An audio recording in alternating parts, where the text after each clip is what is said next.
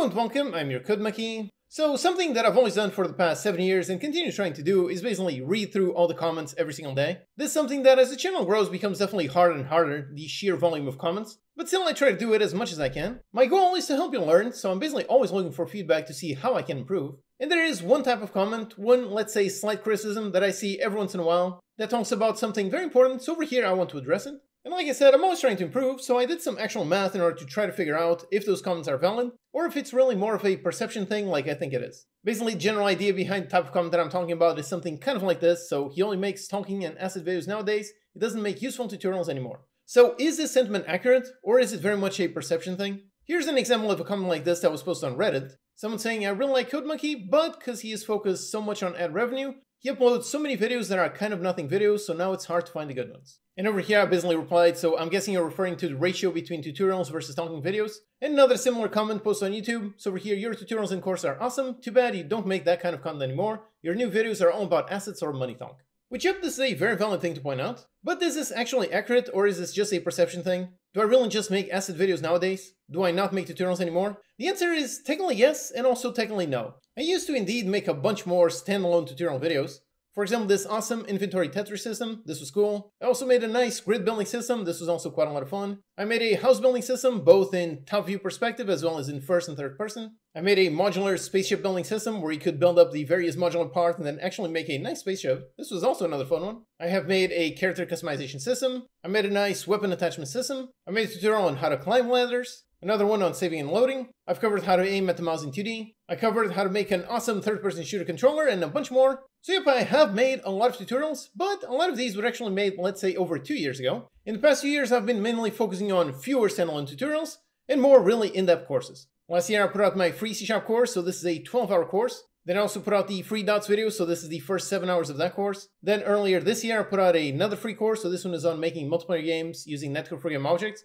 So this is a three hour course. And then another free course on making that same game, but this time using netcode for entities, so this was another interesting one. And just recently I put out my free Unity 2D course, so this is a five and a half hour course making a really nice Unity 2D game. So this was very much a conscious change. I wanted to cover fewer topics but cover them more deeply, as opposed to covering more topics but more simple. However, back to the original sentiment, so does this mean that I don't make useful tutorials anymore? As in, in terms of raw sheer amount of actual educational content, am I making less or more than previously? I thought I was making more, but again, I really wanted to do the math in order to figure out am I actually making more or not. So I looked at this entire year, about 7 months, and I tried to find which ones were pretty much just straight up tutorials and nothing else. So no talking videos, nothing like that, just straight up tutorials. And basically this year I published all of these videos. So my free 2D beginner course, that's great, the multiplayer course as well as netcode for entities. Then nice tutorial on how to boost your games, a nice tutorial on how to use Unity AI, how to break your desktop, that's a nice fun effect, how to make an awesome fantasy RPG, Top 10 C-sharp things you might not know, which I didn't. Then tutorial on basically how to get your desktop directly inside Unity.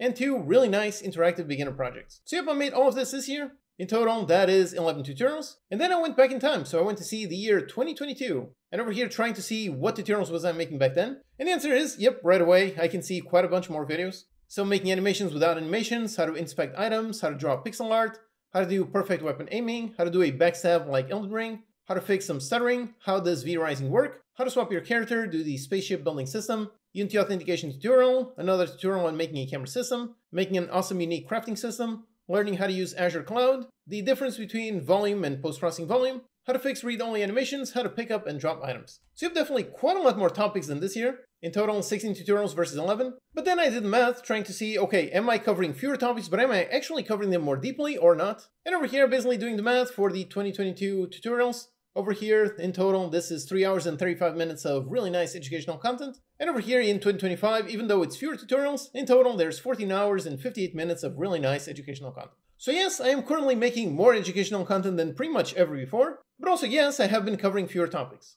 So if you look at my video list, you will definitely see fewer tutorials over this past year, this past two years. But the tutorials that I do make, they are in general much more detailed than previous tutorials. Like I said, this was a conscious choice, it didn't really happen by accident. But still, now that I've finished my free Unity 2D course, right now I do think that I want to get back to a bunch of standalone tutorials. There's a bunch of topics that I've always wanted to cover and I never really had the time.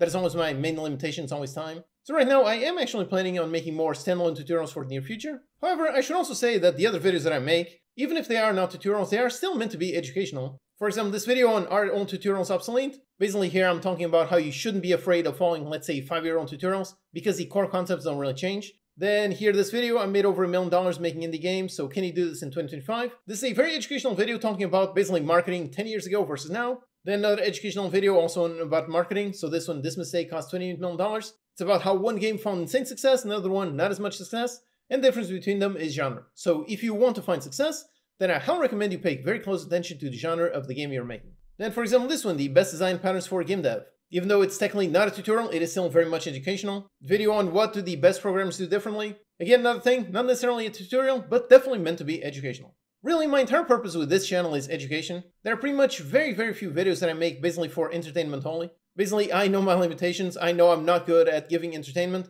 so that's why my focus on pretty much every single video that I make, my focus is always going to be on education. So if I just want to clarify this type of comment, this sentiment that I see every once in a while, in terms of raw numbers, I'm definitely producing more educational content than pretty much ever before, but I can also see how it's very much a perception thing. Since I'm covering fewer videos that are just straight up tutorials, because that it might seem like I'm making less educational content, but when I do, it is definitely quite a bit more detailed than it was previously. I hope this video helped clarify how I think about the type of content that I make, and basically what you can expect from me as a viewer on this channel. My goal, as always, is definitely to help you learn, so I wish you the best of luck in your learning journey.